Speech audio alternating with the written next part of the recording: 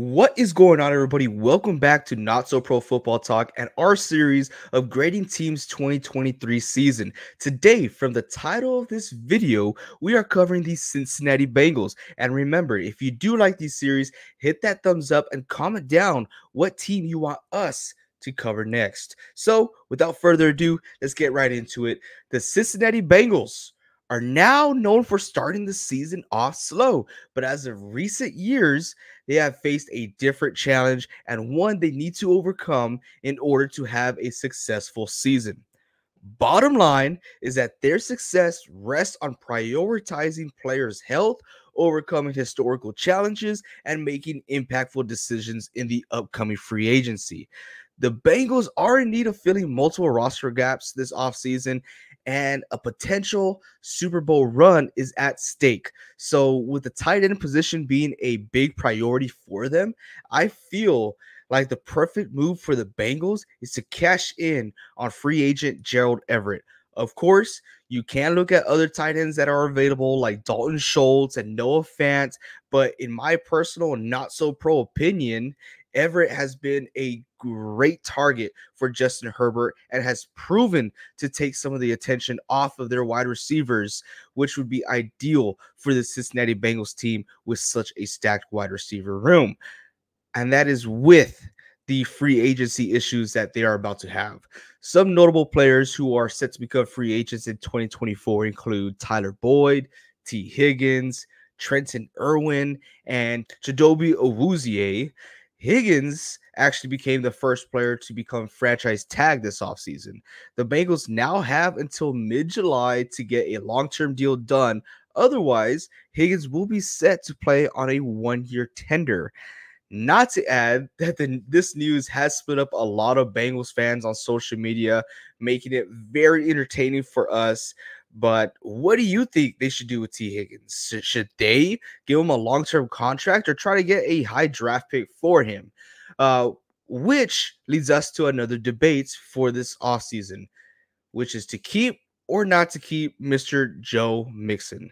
It comes down to balancing financial considerations, player performances, and team dynamics since he's been with the team for so long.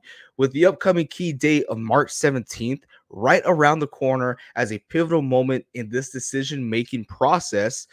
That is actually when Joe Mixon makes three mil just by being on the roster. So that's his roster bonus, making three mil by March 17th. And what's even more interesting is that free agency starts March 13th. So this could influence the Bengals to proceed uh, one direction or another, but nonetheless make this very interesting. Personally, in my not so pro opinion, you see what I did there. I feel that it is the Bengals' best interest to part ways with Joe Mixon. Not only does he impact the cap, but he, in recent seasons, he has been a distraction for the team as well.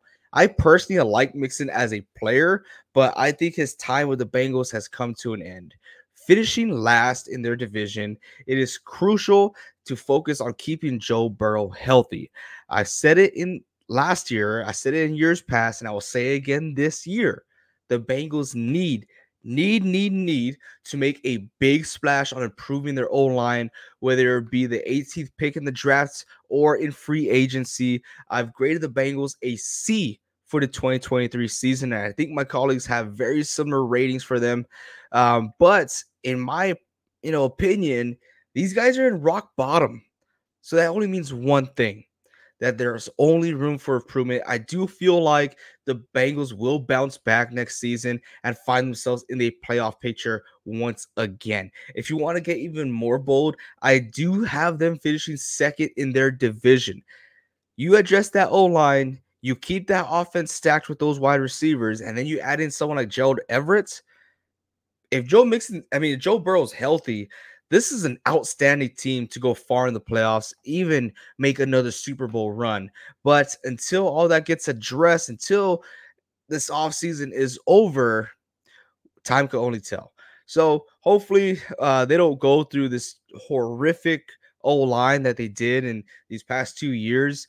Uh, hopefully they get someone who's worthwhile and you know worth the paycheck to protect Joe Burrow, and I think we'll see a huge difference. Those are my thoughts on the Bengals 2023 season and what I feel like they should do this offseason. Like I said, I did grade them at a C. Let me know what you grade them down in the comment section below. And remember, if you do like these series, hit that thumbs up and let us know what team you want us to cover next. And until next time, as always, keep on grinding.